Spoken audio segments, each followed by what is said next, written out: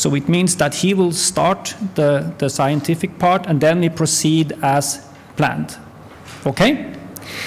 So I will therefore now um, start chairing the first session, which is called Cellular Systems. And uh, the first speaker will be senior lecturer Dominique Chu, who works at the University of Kent in the United Kingdom. He investigates the potential for biology based on molecular com computing by studying information processing in living systems. And the title of his presentation is The Stochastic Nature of Living Systems. So please, Dominique.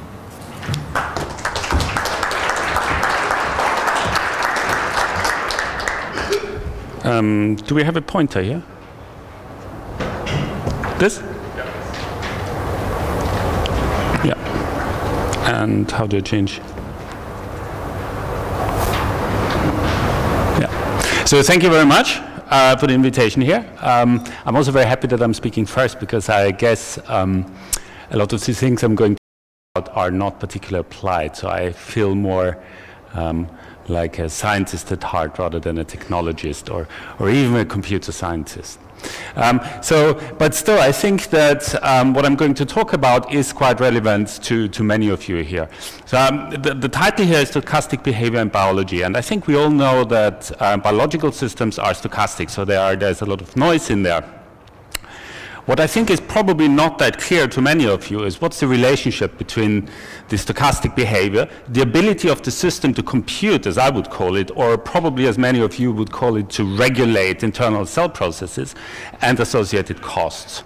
So this is what I'm going to talk about and trying to tickle out a little bit. And the first part of my talk is very much focused on um, giving you a review over things that are fairly well known. And, and it's probably a little bit more than the first part. And I'm doing this so there are no, there, there I claim no novelty there, I claim no, um, no, no, no, no, or hardly any insights of my, myself there. Um, and only in the second part I then, I then get to some research I've done two years ago. Um, which looks at a particular biological example. Uh, and I will go fairly quickly over this. Um,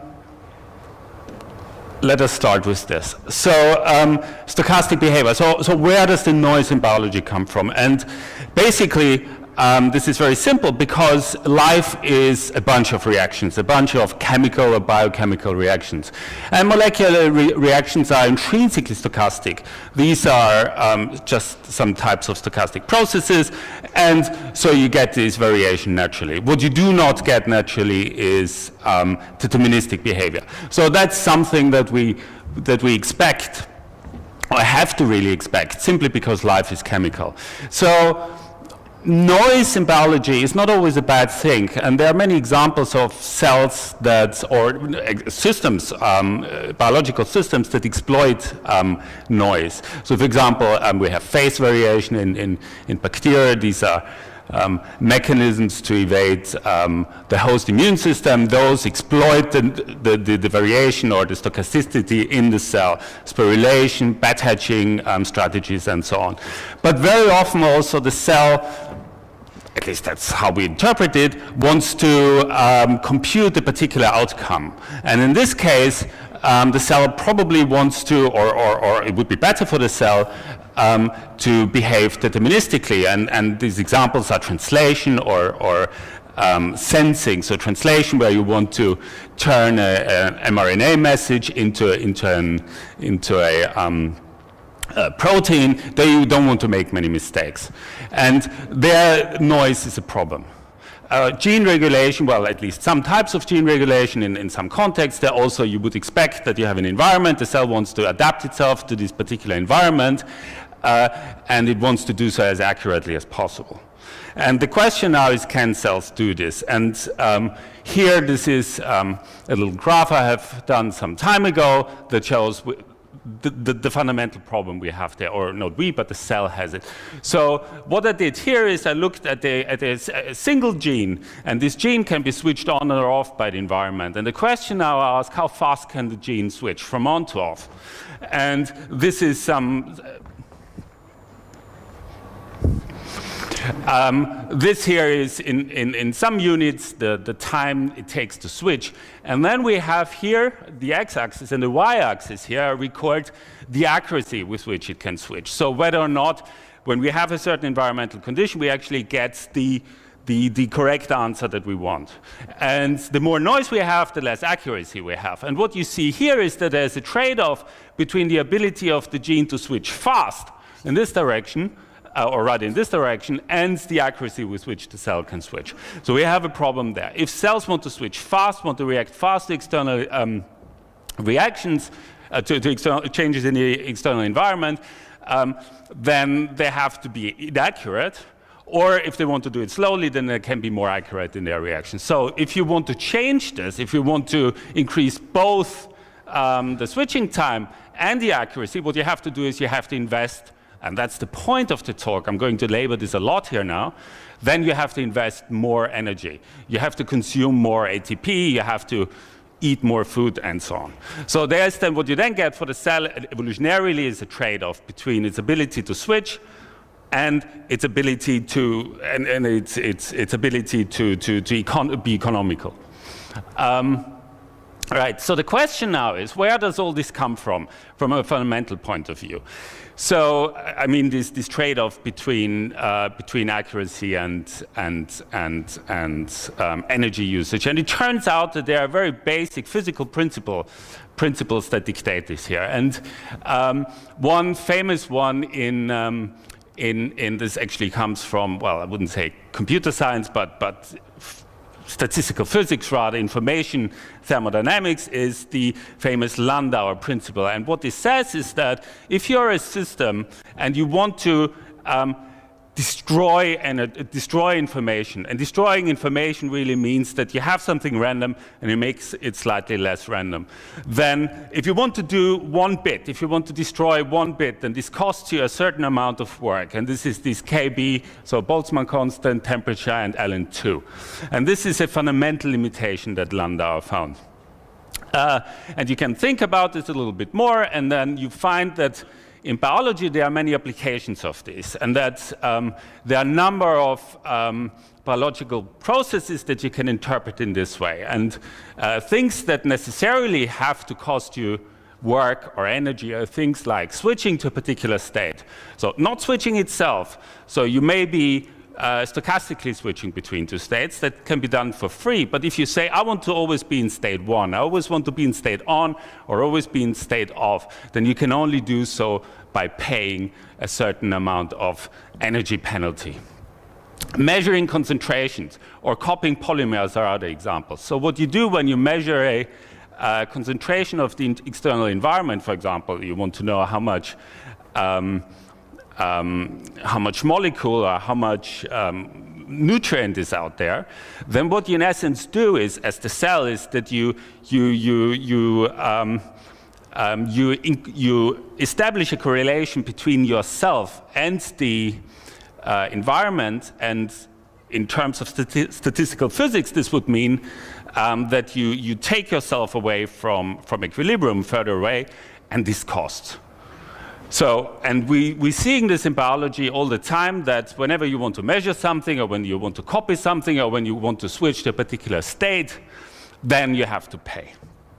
But let me now go to, away from biology for a moment and look at the system that's very well known in computer science and I think has also um, gained some, some, some recognition outside, and this is the Turing machine. The Turing machine um, is a is one, but probably the best known model of computation. And what it in essence is, it's some sort of reading head, and this runs around, along a tape, and depending on the contents of the tape, there's some information written on the tape, and it goes left or right, changes its internal, internal states, and then um, at some point stops, and when it stops, then the computation is finished. Now, I like this picture very much because it, you could, if you, if, you, if you wouldn't know, I took this somewhere from Wikipedia here, but if you wouldn't know it's a Turing machine, it could be a ribosome here uh, that, that runs around, uh, along an mRNA. And so it, it, looks all very biological here. Um, but, but, so computer scientists are very interested in Turing machines because they are a, a model of computation. But now, um, when, when we think of this more as a biological system or as something that could be a biological system, then we want to ask the following question. Now, if a Turing machine is in some state here and then our program says it has to go right next, how is that possible? How can it go right? Now, a computer scientist would never worry about this. They just say, well, it goes right and then does something. But um, as biologists, you would know this doesn't work unless we put some energy in. So you put some ATP in, so, or um, if you're more a physicist, then you would say, well, we have to put a battery into a, into a Turing machine so it can deterministically go from one part of the tape to the, to the next one. Probably somewhat closer to your heart, although it may not seem so at first, is this system here. Now, logicians and computer scientists like to play very much with formal systems. And what this is, is in essence, you make up a bunch of symbols, and then you say, with my symbols, I have my inference rules.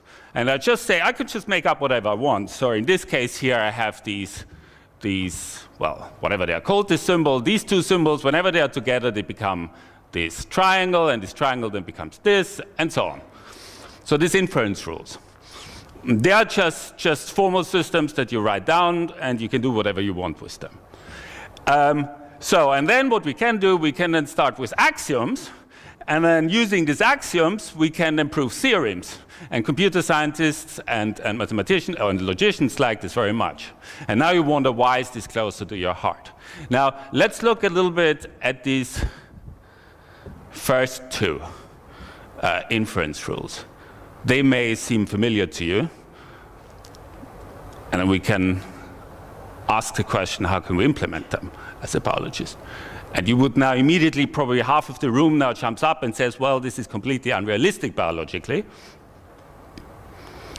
Because it looks very much like this sort of reaction. And we have an enzymatic reaction here, where we have some, some enzyme and some substrate A that's converted to C, and it becomes E, and then the enzyme is, the enzyme is recovered, plus we have some other product.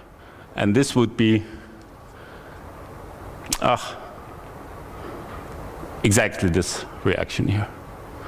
Right? The only problem is that um, enzymatic reaction that go only in one direction, they are not allowed. They always have to be reversible. So what this tells us, if we, want to, if we have a computation and we want to implement this using molecules, then we cannot necessarily do this. And in fact, if we have this, if we're in equilibrium here, um, then we cannot actually um, implement this inference rule at all because as you see there is no reverse inference, inference rule here. So we cannot go back from this to here in our formal system. But in a biological system, we have to do that. It's simply not allowed to, to go just one way. So what we can do, of course, and you will all know this, is we can, we can bias our um, our, our, our, enzymatic reaction by coupling it to, a, to, a, to a, a, second reaction that's far out of equilibrium, and then we get uh, perhaps a strong bias in the direction from, from A to B, but there will always be a chance to go back. So the reason why I tell you this is because I want to, I want to, I want to illustrate here that there's a close connection between biology um, noise, and noise in this case manifests itself just in, in, in this unpredictability in which these, these, reactions goes, uh, and computation. And computation should be important for all of you because many of you, I'm sure, are interested in manipulating um, molecular systems and cells to do what you want. So, and that in essence is a computation. Um, Right.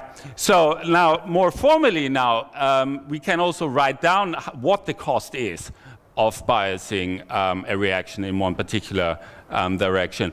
And, uh, well, at least a part of this cost is, is given by this expression here. Well, I just take here the simplest reaction that we have. We have A goes to B and B goes to A. Uh, and then each time this reaction is, is uh, in this case, in the forward direction, we produce this entropy here. So that depends on the logarithm of the ratio of the um, um, of the um, uh, reaction rates. Uh, and what you see here is that um, if we have a direction that just goes in, in, in, in, if we have a reaction that goes just in one direction, then our entropy production would be infinite. And that's, of course, something that is physically, well, probably impossible to realize.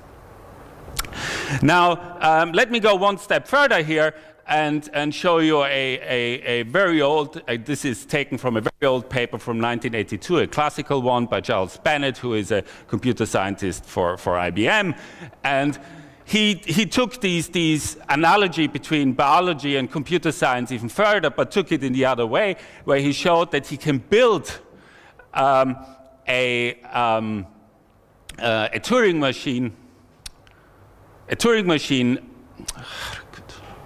a Turing machine um, out of biological components only. So he didn't actually implement this, but he showed how you would do this using, using known biological reactions. So there's a very close connection between computation, stochasticity, and biology. Now, within biology, um, people have thought about this, but have thought about this in a very limited context. And one of the examples that have been um, very popular um, for those interested in computation and biology is, is, is sensing. So, um, and the idea of sensing, as you all know, is, is, is, is that cells, they want to gain information about the environment. Say, um, you want to know um, what nutrients are out there so you know which genes to express. Or another example that has been very popular here is um, uh, gradient sensing during chemotaxis, and you can easily interpret this as a computation and then calculate the costs of this. So people have done this. And uh, the classical result here goes back to 77, actually, which shows fundamental limitations on the accuracy that a cell uh, with which a cell can determine external um, concentrations. Um, but there has been, and this is the point here of these, uh, um, of these references here to show you that there's been some recent work that, that improved this and showed how these fundamental limits can be approached only in the limit of um, very expensive measures that the, that the cell takes. Um, so sensing has been some sort of paradigm case for computation in, in, in biological systems. Um, but I've been interested myself in a slightly different sort of um, example for computation. Um, this is also a, a, a classical system here um, that I was interested in, and this is growth or the, or the, glucose effect. So those of you who are biologists, I'm sure you have learned this uh, in your first year at university as a sort of paradigmatic um, example for gene regulation. And the idea is the following, that we have bacteria, and these bacteria, they are, they are grown in, in, a, in, a, in a I've never been in a lab myself, but I imagine this is some sort of bottle and you dilute the bacteria there uh, and you stir them a lot. And you, the crucial part is that you, um, um, you give them two sorts of nutrients.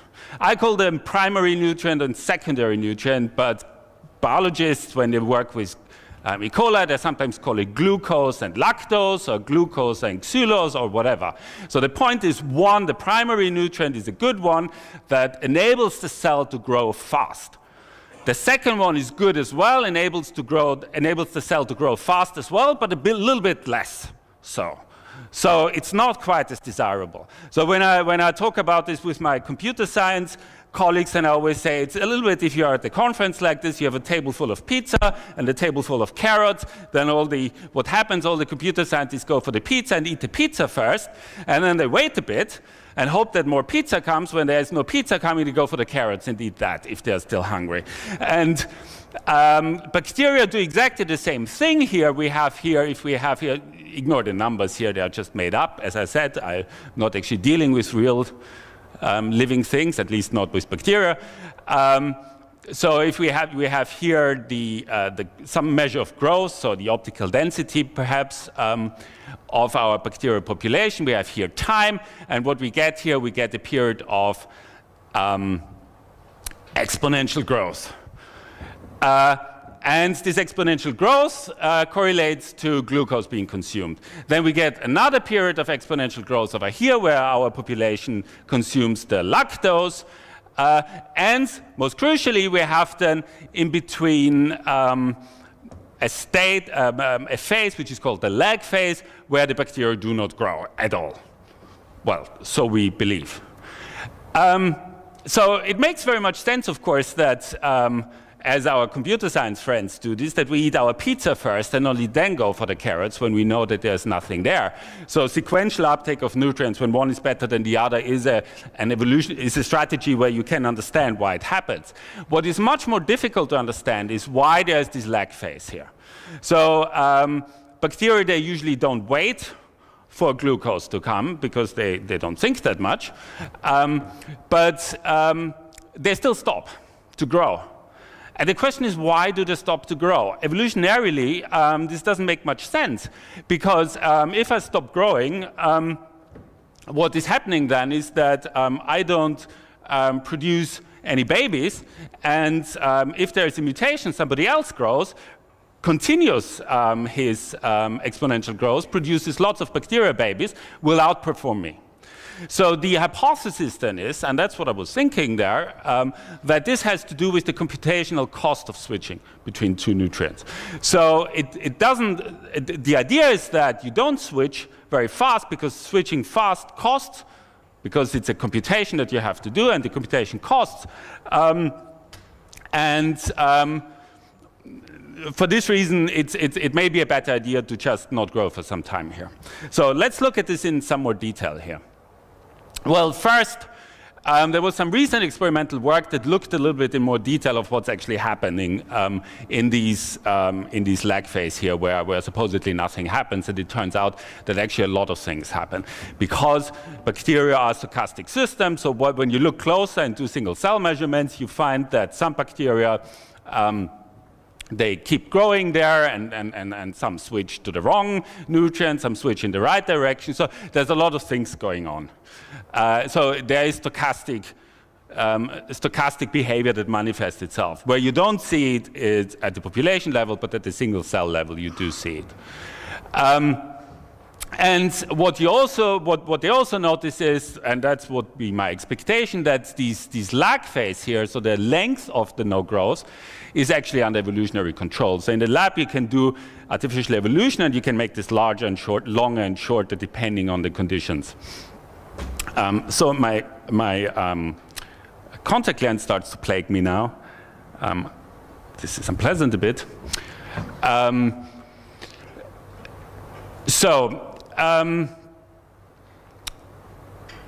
and one of, the, one of the things that I just want to mention here, there, there are lots of results they had, experimental results, but one of the important ones here is that they found that um, cells, what's important an important determinant for the, for the lag phase is actually not how fast the cells, individual cells actually switch. Um, but the important thing is here um, at what point they start to switch. So they, some cells start to switch when the first, the glucose, is already very low, and it turns out that when this is the case, then the lag phase is very long, but others start to switch very, very early when there's still a lot of glucose around. And in this case, then um, uh, the lag phase is um, um, very, um, very short. So um, in essence, just I want to preempt this, my results, just in case I don't get to the end, which um, is possible here. Um, what what, what I, I, am going to show you now is a math mathematical model of this. And what this and it's a very simple and minimal mathematical model. And what this math mathematical model will show is that, the growth is in essence actually a sensing problem.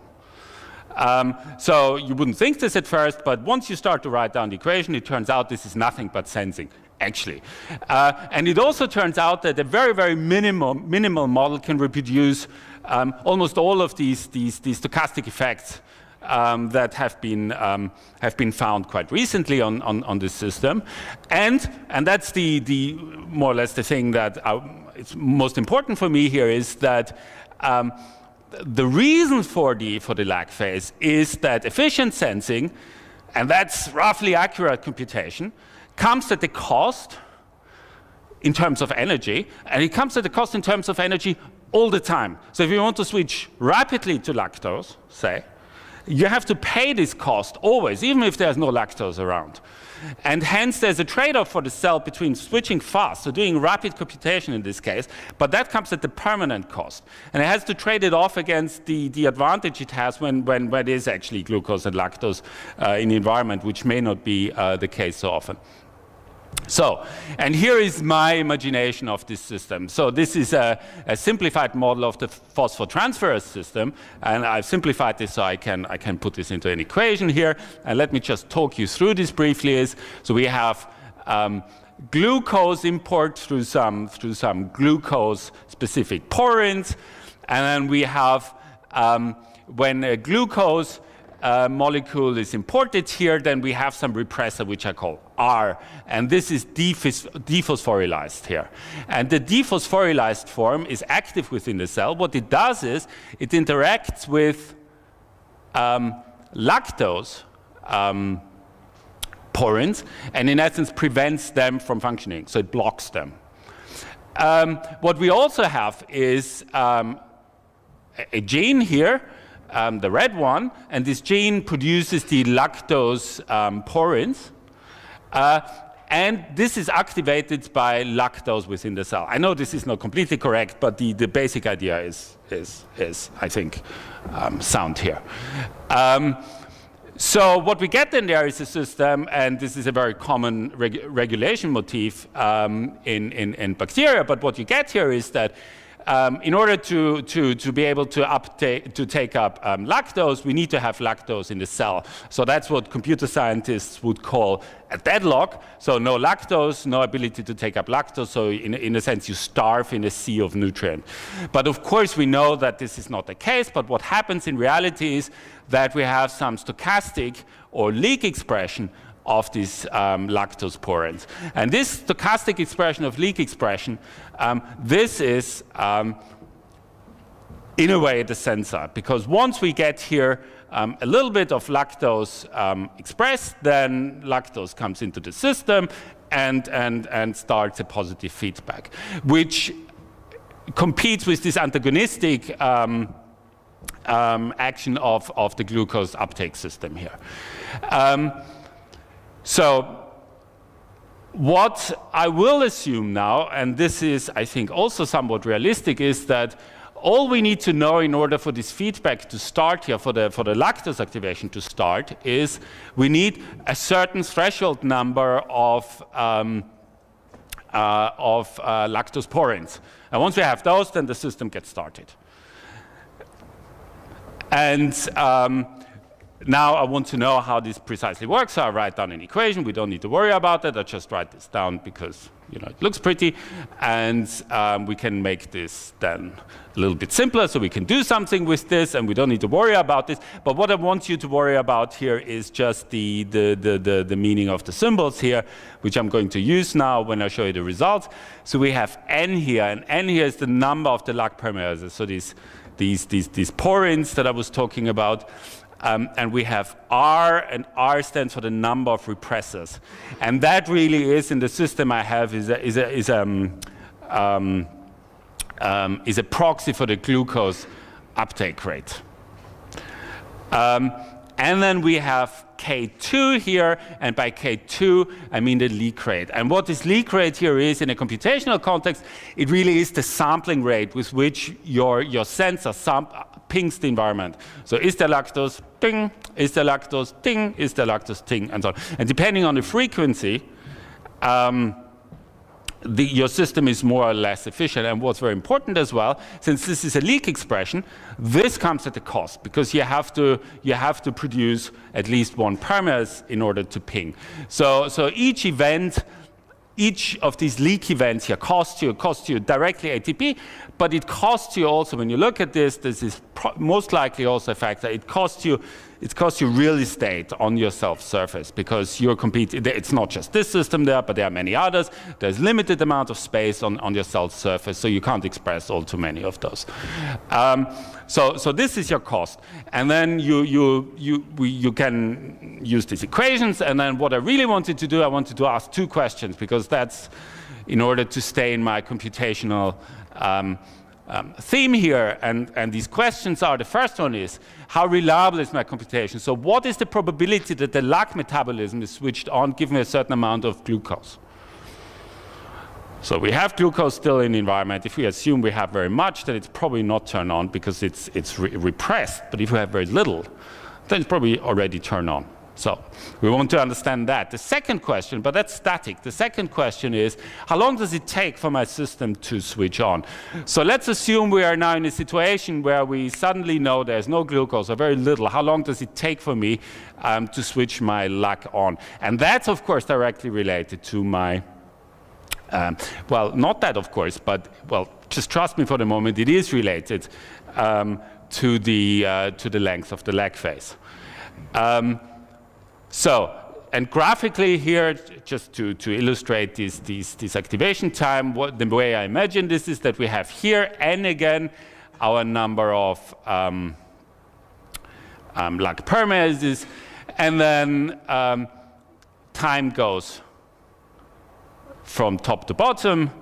And then what we assume here is that we have here some, some threshold, this is the dotted line, and then we go over this threshold at some point, we stay on, on, on, on, on, on, and we go off, and my switching time is this. And that's, of course, the stochastic time. But what I can do is I can calculate um, things like um, the average or the mean um, length to switch here. But I don't do this quite now. So first, the first question is the, the shape of the probability.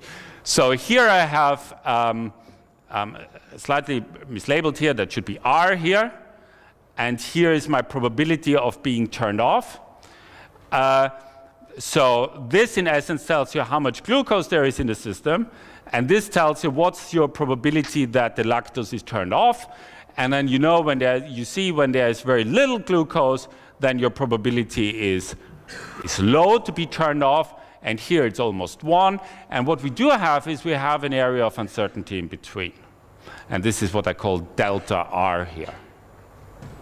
And this is a surprisingly, by the way, surprisingly simple formula which you get here. Um, but that's so. This is my probability or my my um, um, my, my accuracy I can define here. What I, what I can do here now is, this is also, you can calculate this exactly, I just noticed this is not very visible here, is that you can plot your, your switching time or the inverse of the switching time as a function of this K2. And remember, this K2 was, was the leak expression, this is directly related to cost. And this is also the frequency with which I ping the environment. And what you see there is, as your cost goes up, your inverse time goes up. So in other words, if you want to switch fast, you have to, you have to spend, you have to spend on this K2. So switching fast is expensive here.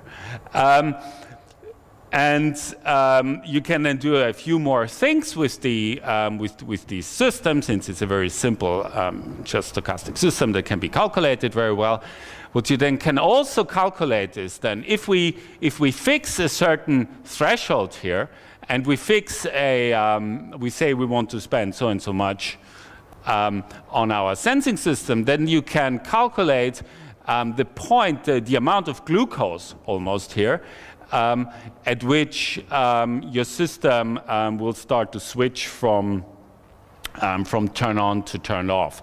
And what this shows here is, this is precisely what they found previously in the paper, and I talked about is that if you want to switch fast here, then um, you have to, if you want to switch fast, then um, you have to you have to start to to to switch to to the lactose at very high amounts of glucose. And what that means is if you want to switch very fast, then you you really have to have to have to switch to the carrots much earlier and take the things that are not as good for you.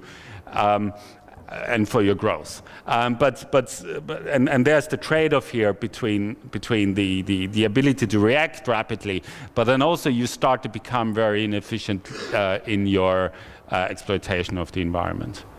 Um, I wonder, how much time do I have left? Yeah, so I'm, I'm almost finished anyway.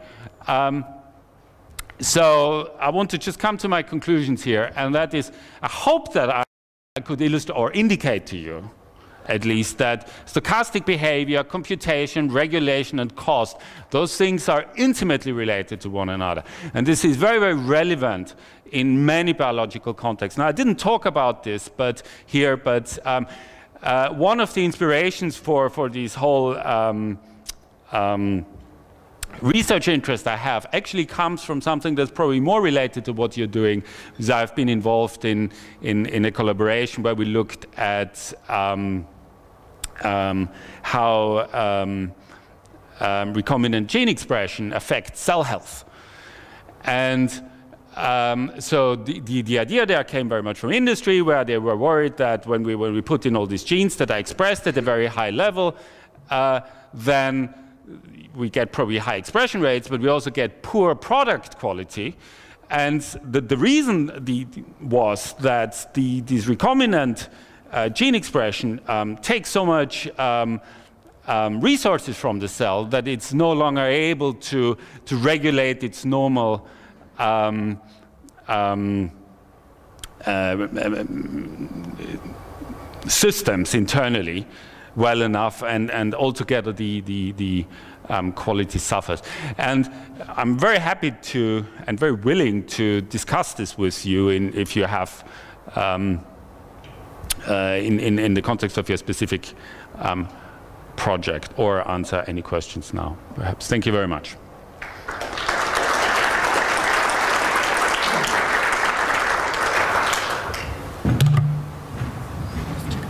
Okay, thank you very much, Dominique. We are a little bit over time, but I think still I would open for if there are at least one question from the audience. Anyone? Oh, I have, I have one small comment, because I think it was interesting. You said the evolutionary rationale for the lag phase of microorganism is unclear. I really thought that any bacterium under any condition would try, struggle to keep it as short as possible. Yeah, but this is not the case. And, and actually, when you, when you look at it, um, so what, what people normally would say is that this is an adaptation to multi-nutrient environment. Mm. But it turns out it's quite the opposite.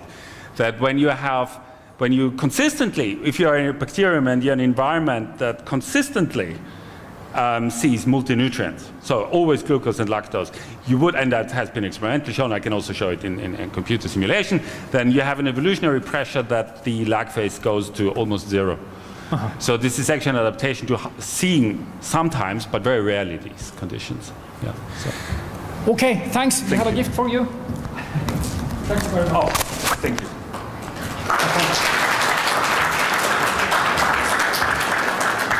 Okay, then we proceed with the program. And our next speaker will be Professor Vera van Noort, originally from Netherlands, I learned yesterday, but now working at the university in Leuven in Belgium.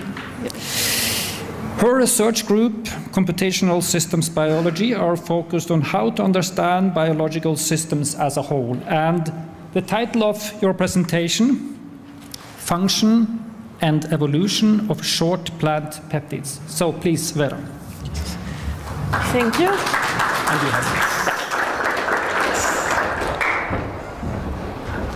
Yes. So thank you for the introduction.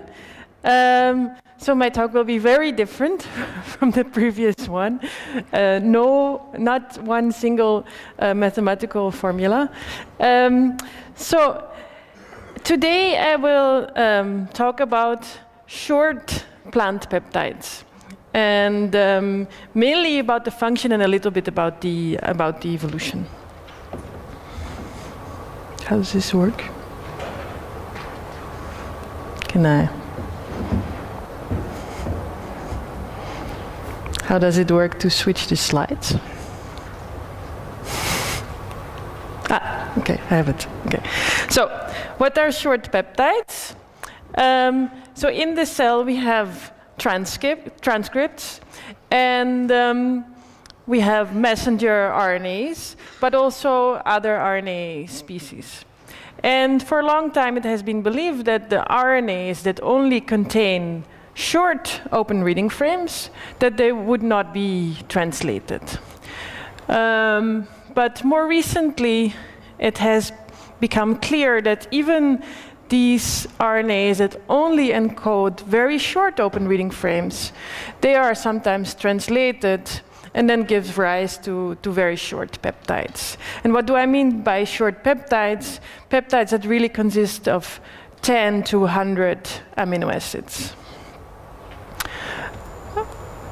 And so, but these have been ignored in the genome annotation um, because of a because of a signal to noise ratio. What does that mean? If we have a um, if we have a coding gene, we always have codons, position one, two, three, one, two, three, etc. Now, if we count how many A's, C's, G's, and T's are in, this, in these first positions, um, then we can see that there's a, there's a difference between those uh, three positions. Now, if we have a long enough sequence, yeah, like more than uh, 300 bases or encoding more than 100 amino acids, we can use computational methods to recognize, aha, we have a coding gene here. Yeah? Um, but if this is too short, we cannot recognize, we cannot, re we do not have enough signal to actually see that this is a coding gene. Yeah, because we cannot distinguish that there's um, uh, a higher percentage of uh, C's in that in that position, or uh, or a lower percentage of of T's in the first position, if the if the sequence is too short. So therefore.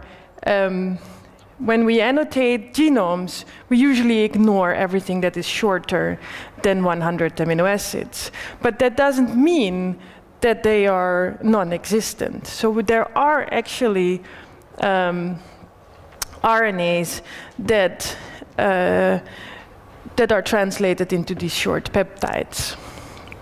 Now, we did a study in mycoplasma. Oh, go back. Uh, in mycoplasma, that is a small bacterium. And because you may think, well, these may be translated, but that doesn't mean that they are actually functional, right? They can be translated by accident just because they're around. Um, so what we did here was a study where we studied the essentiality of different parts of the genome. And how was this done? It was by inserting elements into all the genes randomly. Now, if you do this a lot of times, then uh, if a gene is not essential, you will many times see an insertion in such a gene.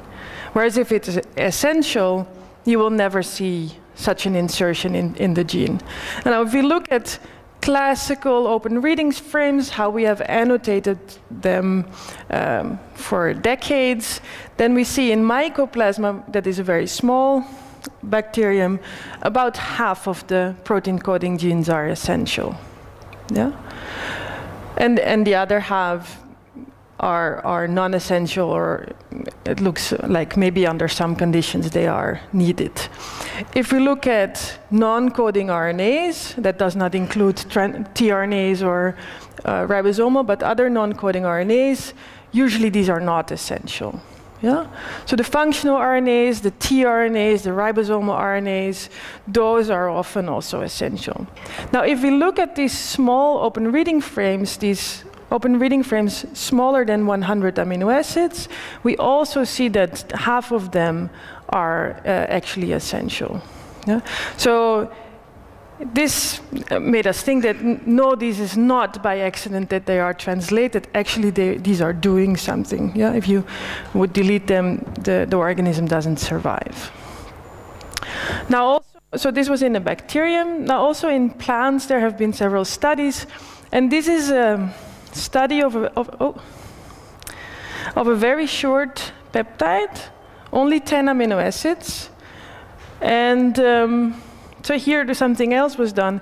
This was expressed in the context of Candida albicans. So this peptide is derived from the genome of Arabidopsis thaliana. And if you express it in the con context of Candida albicans, it interferes with biofilm formation. So here, and, and that's in a concentration dependent matter. So, so here's how much um, biofilm is formed and the concentration of this um, small peptide.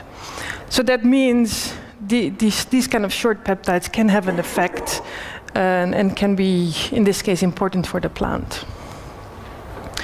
Um, also, other people have studied or have identi identified these short peptides, and this is again in Arabidopsis. So here you have a, a wild type Arabidopsis, and if you overexpress uh, some of these short peptides, you get uh, different phenotypes like strange um, flowers or uh, not much growth or elongated leaves. So they are they also uh, change the phenotype of the plant if they are overexpressed. So the main um, questions for my research is really these short peptides. Um, are these functional, you know, each of the individual ones? And what are the molecular functions? So what do they do? You know, if we see a phenotype, how does that um, come about? And um, in this study, we, we looked at Arabidopsis and we looked at oxidative stress in Arabidopsis. So how do we get oxidative stress? Um, uh, by, by reactive uh, oxygen uh, species, and those can be induced either by uh, this herbicide, paraquat, or by infection uh, with a fungus. Yeah? They both induce an oxidative uh, stress response. And a lot of things, um, a lot of things happen if we induce oxidative stress, and we can measure this by, um, for example, tiling arrays or RNA sequencing, and then we see transcriptionally active regions, and specifically transcriptionally active regions that do not overlap with any of the annotated protein coding genes. Yeah. So we collect evidence for novel short open reading frames um, by these tiling array uh, measurements and also RNA-seq paired end sequencing. And um, we find a lot of transcriptionally active regions, again, not overlapping uh, with the classical genome annotation. Now, to get peptides, we need to translate them, but we, of course, do not know in which frame they should be translated. Yeah, so they, there can be different reading frames. So what we simply do is make six-frame translations of all those transcriptionally active regions. And now to one of the things we do to figure out if these are, these are functional is to do homology searches in other plant genomes. Yeah, because if these are conserved between different plants, that means they must be important somehow for, for, the, for the plant to survive. Yeah, so we uh, do homology searches of these six-frame translations against other plant genomes. And um, so these are quite diverse. They go from Arabidopsis to, to maize and, and rice. Um, so what you see here is maybe a bit complicated figure. So here's the, the peptide length, and then here is a, a bit score that is a score for how similar uh, the peptides are in this other genome. So we see even quite a lot of hits or you know similar parts uh, of the genome in uh, genomes that are as far away as wheat. Yeah, so we see tomato, rice, so, etc. So we have quite some evidence that some of these peptides uh, are indeed conserved over long uh, evolutionary times. Um, now, normally what we do is to not just measure the similarity, but compare uh, how many mutations there are between those two uh, pieces of genome that are synonymous, so that do not change the amino acid, and that are non-synonymous. And this DNDS ratio um, gives a, a measure of selection on these open reading frames. Yeah, so if this ratio is smaller than 1, there are fewer non-synonymous mutations than synonymous than we would expect. And that means there is a selective pressure to keep the amino acid sequence the same yeah, between those genomes. So here we have a distribution of the length of our stress-induced peptides. Most of them are uh, around uh, 35 amino acids. And we see that a lot of those have a selection pressure because the DNDS is much smaller um, than one.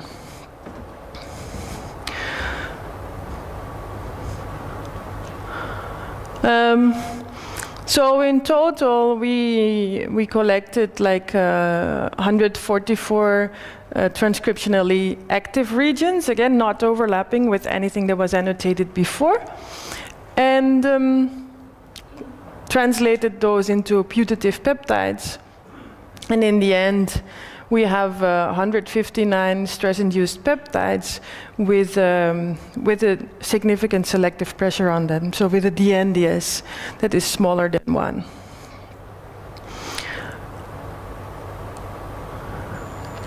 Um, so the, the RNA expression and the sequence conservation over these long evolutionary timescales suggest indeed that these short ORFs uh, are functional. But now, you know, what do they do? This is a big question. So in order to be able to communicate about these peptides, uh, we need some kind of um, coordinate system or database.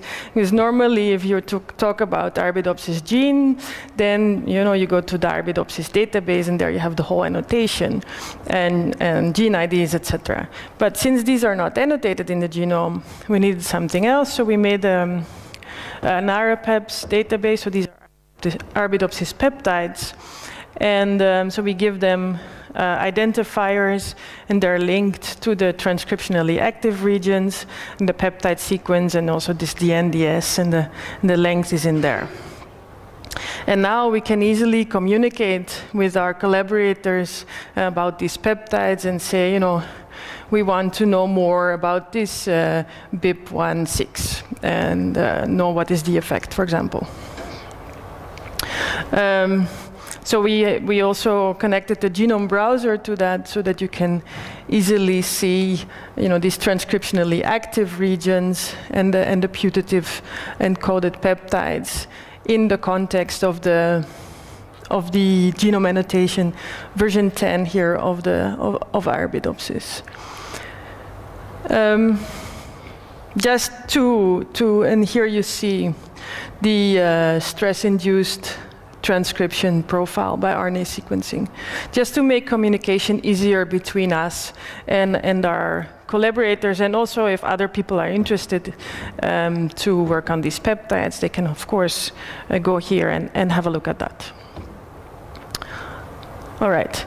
So in, so we did not only put our peptides in there that we, that we collected from this stress-induced data, um, but also peptides that were identified to be involved in morphogenesis in a study uh, by Hanada and co-workers in 2013, and then some unannotated secreted peptides. So those are peptides that contain a signal uh, a sequence to be secreted from the plant uh, from a study in 2006. Um, so all of these have transcription evidence, either by tiling arrays or by RNA sequencing. And in total, we have 13, over 13,000 putative peptides yeah, that have transcriptional e evidence. Now, of course, it's impossible to screen all of, the, all of those for uh, some activity. Um, so the first thing that we did is to cluster everything that is similar to each other. Yeah. Um, so what you do is uh, uh, calculate the similarity pairwise between all of the peptides, and um, and do a clustering using uh, Markov chain uh, clustering. Um, so what we see here is that um, there is one cluster that contains more than 50 peptides that are very similar to each other, um, but there is also a lot of clusters where there's only two peptides uh, together. So there are in total 1,300 clusters, and 21 of those clusters contain the stress-induced peptides that we are studying. Um, so then, in order to, to understand a bit more about what these peptides are doing, um, we cannot use classical protein uh, annotation techniques. We cannot use PFAM or, or this kind of things because you know, those do not contain patterns for, for short peptides. But what we can do is to look at prosite patterns. And um, these are just shorter motifs, and we can try to identify those in our peptides. So here we see uh, the type of motifs that we can retrieve in the peptides, um, like uh, nuclear localization signal or amidation. This looks like an N-glycosylation, although we do not really know if a peptide would actually be modified like that. Um, this is an, an interesting cluster uh, of peptides. There are 27 uh, quite similar peptides in there. And one of those is a stress-induced peptides from our data, and the others are in other places in the genome. And if we do, uh, so all, all of these are found in unannotated intergenic regions of Arabidopsis thaliana. And some of them uh, also have homologs uh, in Arabidopsis lyrata, suggesting that indeed these are conserved in evolution. Now this OSIP uh, 96.3 that is here in the alignment is uh, located in a transcriptionally active region uh, identified by tiling arrays. And uh, under oxidative stress, it has this uh, induction and also purifying selection. Now, what is interesting about it is that we find an AGC kinase docking motif in this peptide and in the linear motif database that's registered like this. So it's a, a lot of um, hydrophobic residues uh, in there. Um, now, what is um, what is AGC kinase? AGC kinases are a group of kinases in plants, and they are important. Uh, there's one master regulator that is PDK1, and one of the kinases in that group is OXY1 that regulates uh, oxida the oxidative stress response. Um, the binding of other AGC kinases to PDK1 um, results in, in activation of that kinase. And um, so this uh, interaction between PDK1, OXY1 is implicated in oxidative stress signaling. Now, if this OSIP 963 is binding to this uh, PDK1, it may modulate, you know, how this the, this oxidative stress responds. Yeah, so the the binding motif uh, may result in binding to the to the PIF uh, pocket of PDK1 kinase. So this is an overview of how um, uh, how these uh, AGC, what these AGC kinases uh, look like in total, and there's um, there is some um, th this activation segment that is important. Now, what we did is we took the portion of this peptide, of this short peptide, that contained the uh, AGC kinase uh, binding motif, and docked that into the PIF pocket of PDK1 and we could see, so this is an initial docking and we, could see that indeed it, it fits quite nicely um, into this uh, pocket. So these are the uh, interactions in there. Um, so we could optimize this docking um, so this is a refined docking of that. So we can see that indeed this portion of the peptides fits very nicely into this uh, pocket of the of the PDK1 um, kinase. So what we so like I said, these AGC kinases are activated um, by loops of other kinases going into this pocket. And we think that this peptide may have a similar role in activating um, this kinase. Um, so this is a picture that I borrowed from the Rosetta Design Group. So here you see peptide-mediated protein-protein interactions. Um, so here is one protein and another protein, and here is one loop uh, of, of one of the proteins that is going into a binding pocket of this other one. And these kind of peptide-mediated protein interactions are used in drug design to uh, design peptides that actually go into such pockets uh, to interfere with such uh, interactions. Um, so in, in, in pharma, the people design inhibitory peptides that then interfere with such interactions. So maybe plants have designed their own drugs and have made uh, peptides that actually do the same. I think it's quite uh, plausible that that has happened. Um, so uh, to continue the story, we think that there may be more peptides that function in this way, yeah, that interfere with protein-protein interactions uh, by binding uh, to such uh, pockets. Um, so what we did is to, uh, to look for three-dimensional structures and scan if we can find uh, more of these protein peptide pairs where uh, uh, one of our peptides could bind uh, in a pocket of a, of a protein. And then uh, using um, docking and uh, modeling optimization, see if that actually properly would bind. And in total, we're, we're on to 10 protein peptide pairs, of course, from our thousands of peptides. That's still not much, but I think it's a start to try and understand what these peptides are actually doing. Um, there's another interesting cluster. I hope I still have a little bit of time. Um, that um, that we found. So this is again uh, a, a, cluster of peptides, nine peptides that are quite similar to each other. Um, that are involved in stress response, and they are similar to uh, uh, FLP peptides in metazoans. And these peptides have a role in um, osmoregulation via the regulation of ion channels. And so in 2014, there was a report that Arabidopsis, also expressed some genes that display uh, repeated sequences that end in an RF.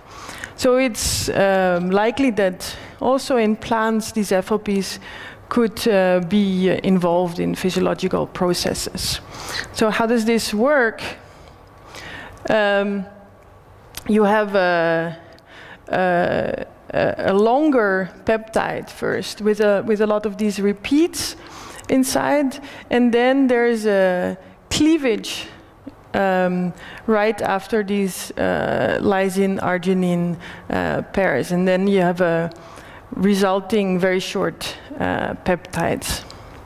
Um, so here in, in our cluster, we also have uh, stress-induced peptides and then um, some other peptides from Arabidopsis lyrata. So, so these are homologous, if you want and they have these repeats of arginine, phenylalanine, uh, and um, so we also expect that these are cleaved and result in these very short um, peptides. Now, what they would do exactly, we, we still do not know, but we know that uh, what you can see here is the expression of this part of the genome under normal conditions, and then in oxidative stress you get uh, expression of this extra part, so here in green and in red. And um, um, so, so yeah, we think that indeed in oxidative stress you get induction of this uh, of this protein and, and resulting in these very short peptides being expressed. Okay. So to sum up, um, my story about short peptides, uh, many of them uh, feature negative selection that points at functionality, yeah, because we have similar sequences in other plant genomes. Um, there are some clusters of similar sequences, uh, maybe similar to, to protein families or peptide families in this case. Um, they have similarity to, to parts of known proteins or binding motifs. Maybe they interfere with, uh, with peptide-mediated protein-protein interactions. That could be one of the molecular mechanisms of these peptides. And then we see this novel family of FLP peptides also in plants. All right, so I would really like to thank the students in my group, especially uh, Rashmi, my PhD student, who's done the most part of this work on the plant peptides. And then um, we're trying to uh, follow up this uh, AGC kinase story uh, together with the um, group of Remco Offringa in, in Leiden Plant Development. And um, the RNA-seq and tiling array data was generated together with the group uh, plant-fungi interactions uh, in Leuven. And then I want to just, so this is my group. And I want to point you to this uh, conference on challenges in data integration, um, where I'm also speaking in November. And thank you for your attention.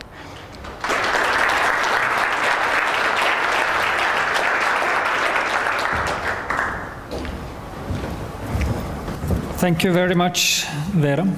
I think we have opening for a question. Yes, Kjetil.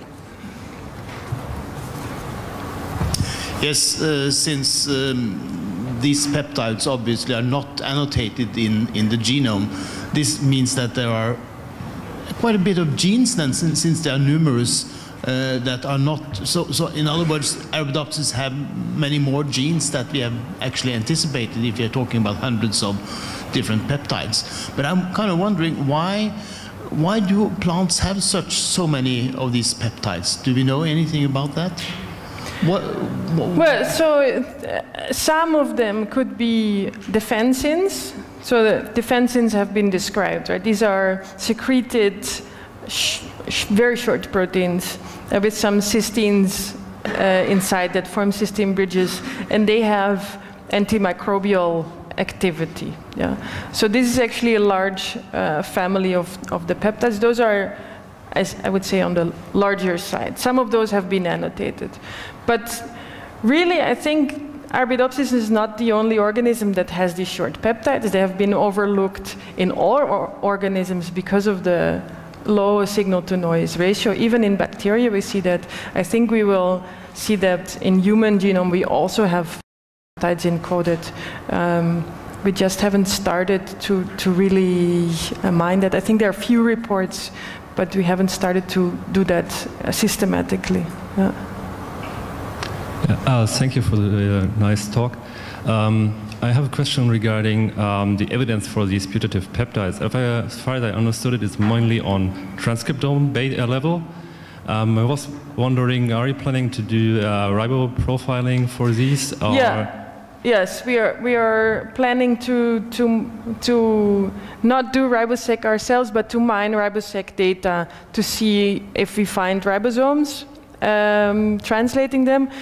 Uh, the plant fungi interactions group um, has also tried, we have made a lot of effort to try and do peptidomics uh, by mass spectrometry, but it's very hard um, to actually identify those short peptides by mass spec.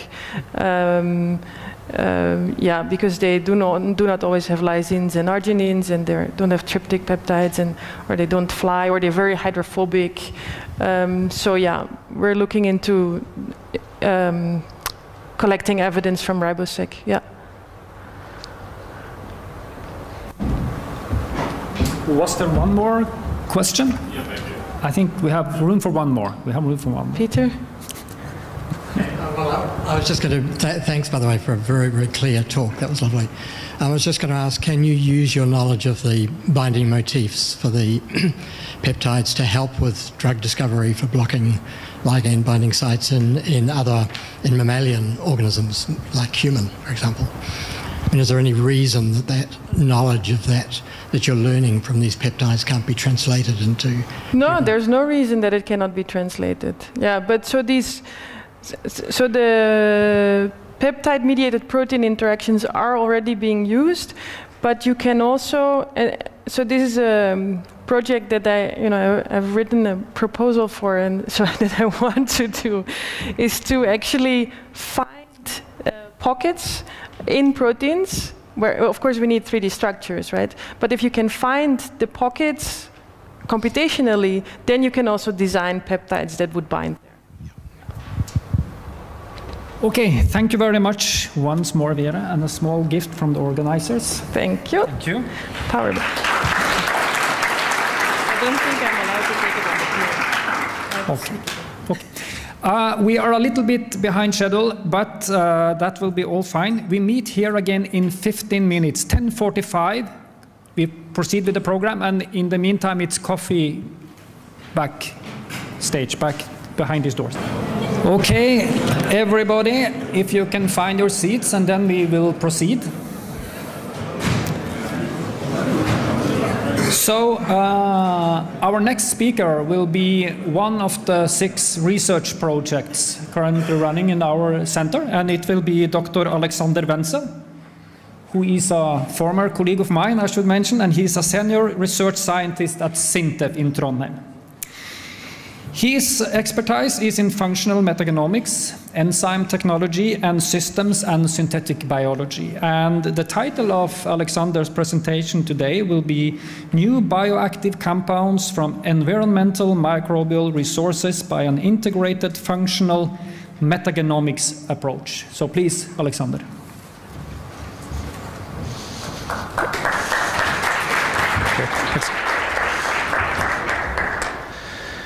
Yes, thank you very much, uh, for the kind uh, introduction. And I'm really happy to be here and present uh, what we're doing in connection to the Center for Digital Life. Um, I have uh, set up this portfolio because we have uh, there is a, there's the In Biofarm project, which is the Center for Digital Life project, which I'm leading, but it has a very close connection to an ERA SysApp project, which I'm also coordinating on the systems biology of Streptomyces silicolor. Uh, plus, at, uh, I was, that I was also involved in a former SysMo project, which is a very important systems biology background for the InBiofarm project. Plus, that we have a strategic project in SINTEF on functional metagenomics, which, uh, which prepares a very nice and good basis on, as, on, uh, on a really large number of bacterial genomes, um, which feeds into in the InBiofarm project. Um, we, the overall arcing topic of uh, what we do is, uh, is the urgent need for new natural product discovery. And uh, as you see on this curve here, there's a, there, there is an urgent need to, uh, to, to tackle the challenge of antibiotic resistance because the, the, the antibiotic resistant bacteria are on the rise, while at the same time the discovery of new bioactive compounds, uh, new antibiotics, uh, is on the fall. So there has been very limited efforts to develop new antibiotics, in particular by the big pharmaceutical industry. And uh, there's also a very high rate of rediscoveries, uh, so that uh, you always discover the same, the same uh, compounds again and again. So that makes it really tedious to get something new out of it. So, and then there's, there's of course, uh, also a, a, lot of uh, other um, diseases that need to be uh, need to be addressed by new natural products, and uh, so there's a there's a pressing societal need to have new um, uh, technology to to efficiently produce, find and produce new natural products. Um, marine bioprospecting uh, has been a very long-term effort by SINTEF and NTNU, and uh, it, uh, it, has been for ongoing for, for many years, and uh, antimicrobials, anti-cancer compounds has been one of the topics. But of course, there's a lot of other products that can be derived from the marine environment, and uh, in fact, um, there is a large collection of marine uh, actinobacteria um, which, uh, which come from, from the, the marine environment of the Trondheim Fjord. And this is, uh, this is what we um, what we, what we work on. So a, the, the majority of, of, of, natural products for medical use, they still come from this class of bacteria uh, and several other compounds uh, with different applications in medicine. So this, this, the machinery for producing these natural products uh, is encoded in so-called gene clusters, which here are BGCs, uh, like here this example for the vancomycin, which is a very important last resort antibiotic. And um, so um, this is a kind of a general feature that you have clustered genes in a very large chunk of DNA, and uh, all, the all the machinery is encoded in these gene clusters. Um, some uh, examples for compounds that have actually have been isolated from, uh, from the strain collection of the Trondheimsfjord by classical bioprospecting. This is, for example, this macrolactam uh, antibiotic, which is, a, which is, an antifungal function. Uh, this ring structure here, which is a, a, a strong antigram-positive bacterial um, uh, antibiotic. And uh, the respective gene clusters, you see uh, again here that these genes are all clustered in these, uh, these gene clusters. So, but of course, uh, what we want to do is we want to go beyond uh, what we can do by classical bioprospecting. And uh, what we do, what we already do is we, we target environmental niches like the marine environments, which haven't been exploited that much yet. Um, but we want to also go for all these gene clusters, which is estimated about more than 80%, which are not expressed in the natural bacteria uh, under laboratory conditions. And we, of course, target in the end also to have the more than 95% of the bacteria in nature which cannot be cultivated at all uh, in the laboratory uh, using standard techniques. So um, to get all this going, we need to have uh, new technology to be developed. We need to have technology to clone complete uh, biosynthetic gene clusters. We need to have host strains that actually can express these biosynthetic gene clusters and form um, the, the compounds.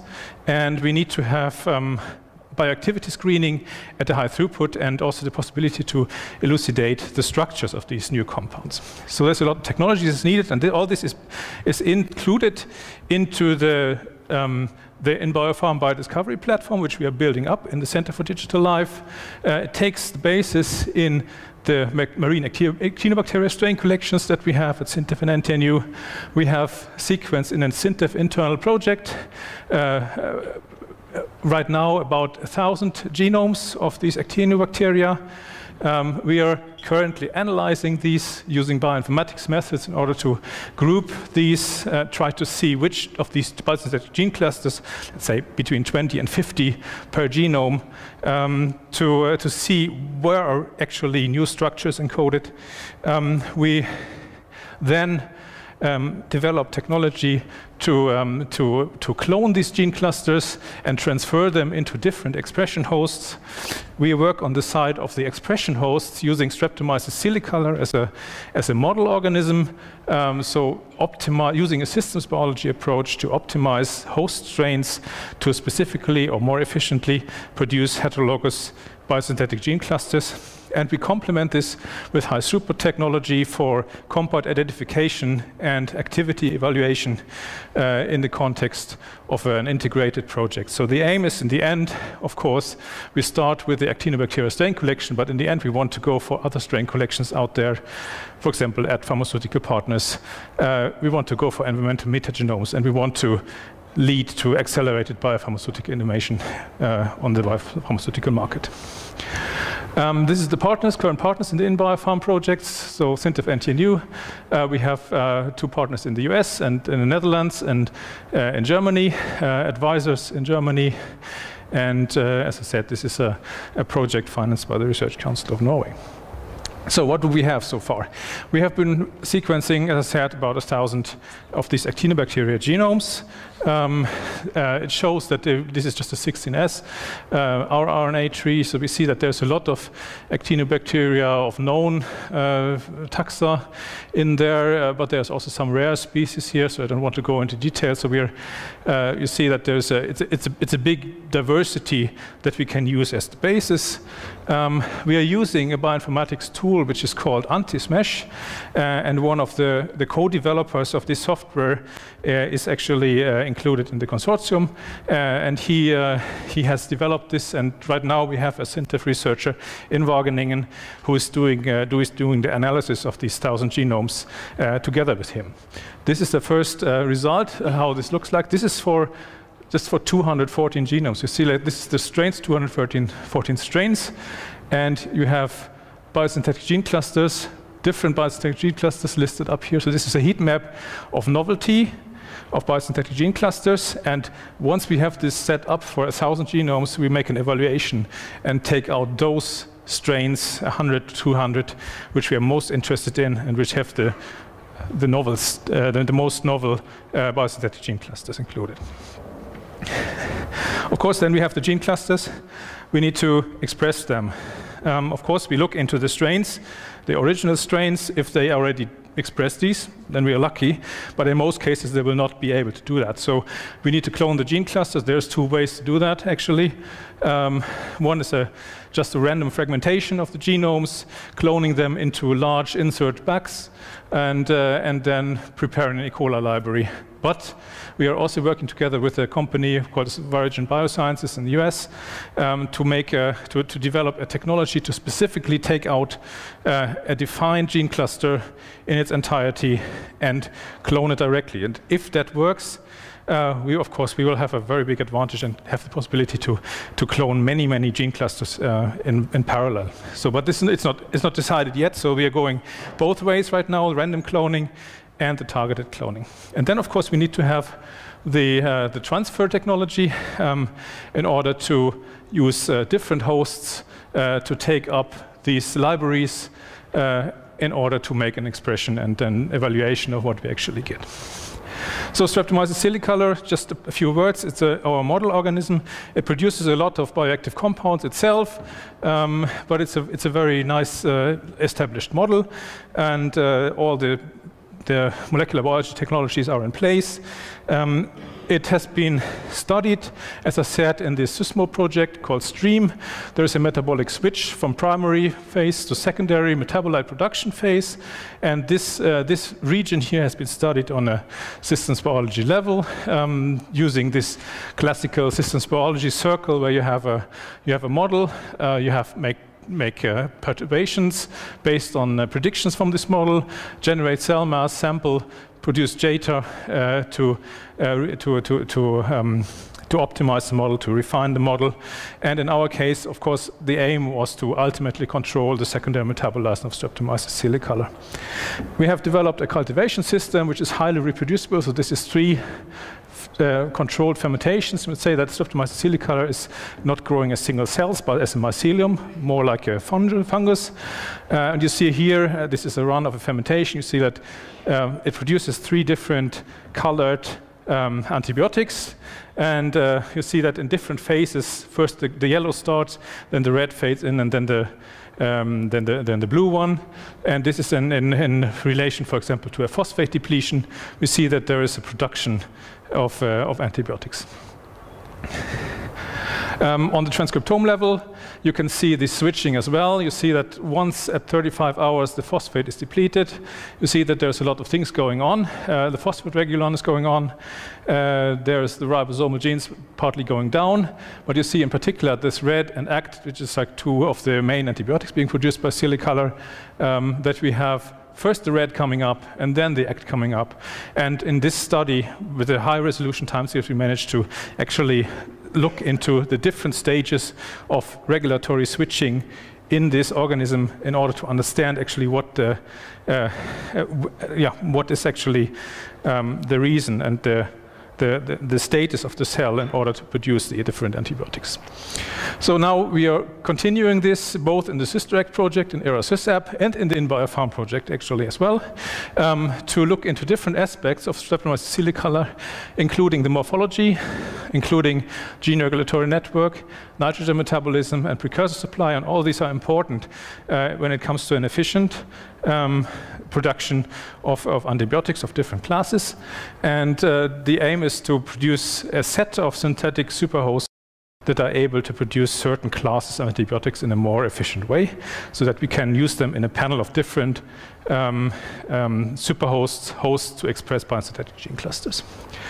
So um, when it comes to MS, um, we are, of course, in parallel uh, building um, high throughput methods to evaluate and to structurally determining um, the compounds that are being produced. And this can be both on the actinobacteria culture itself from the marine actinobacteria or from the strains, from the superhost strains which have a heterologous cluster. Um, we have uh, different technologies which we are kind of uh, evaluating in parallel right now, which have a high resolution, um, and uh, like high resolution is the aim, and in particular also short time for each analysis. So we're going down to 10 seconds with the rapid fire QTOF analysis method, and if you have thousands of clones uh, to screen, then of course you need to have very efficient MS-based and automated um, uh, technologies. So in the end, of course, we produce MS data, fragmentation data, and you get structural information, and you get, in particular, um, an idea if you're actually producing something, something novel. So we have the workflow, establish a workflow where we integrate the anti-SMESH, which is set this prediction based on just the genome sequence or the biosynthetic gene cluster sequence, and the MS-based analysis where we have MS profiling, both with and without fragmentation. And we're running different, um, different uh, scripts for, uh, for, uh, for network building in order to see if, uh, if the masses which we retrieve are actually belong, are registered in some database or not. Um, even fragments of those. So this integration we think is, is really promising. And we have um, here as one example from one of the thousand isolates that we have, um, where we have done um, both the anti-smash analysis, we have run MS1 and MS2, and uh, done a, a, a multi-omics integration using a program which is called Data Warrior. And uh, this, uh, there you see that you have different compounds coming up using these different um, these different uh, technologies. And if you integrate all of these, they, you see that they kind of group together. And you see that, for example, antimycin uh, is, is, discovered both by MS2 and MS1. Uh, this one is by MS1 and by anti-SMESH. Uh, it doesn't work all the time because here's, for example, the antimycin predicted from the anti-SMESH. It's somewhere else than here. So there, there's still some things that need to be curated, and it might also be uh, registration errors in the in the in the in the databases being discovered like this. So um, so, but this is, this is kind of the approach we want to, uh, we want to use in, uh, in a set of 100 to 200 of those. And uh, of course, we also have bioactivity screening then on, uh, because we want to know if we really have antibiotics. So this is kind of integrated as a, as a, as a, as a in different places. Um, so in the, in, the, in the platform, so that we actually uh, know exactly if we have an antibiotic or if we have an anti-cancer compound or whatever we have. So um, all this put together into this InBioPharm platform um, uh, brings me then to the end uh, with the acknowledgements and collaborators and funders. As I said, it's a, we have a, it's a big team right now already. Uh, the InBioPharm uh, is, is, more on the left side here. This is kind of the InBioPharm consortium. This is the ERA-SysApp consortium. Some providers uh, of libraries um, and uh, bioinformatics, um, which uh, which we which we also have, have, included here. And I would like to thank the Research Council and the Center for Digital Life for the funding. Thank you very much.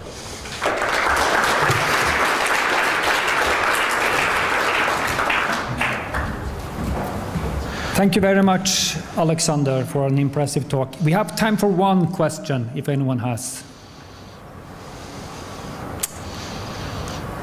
Yes, there is one on the back.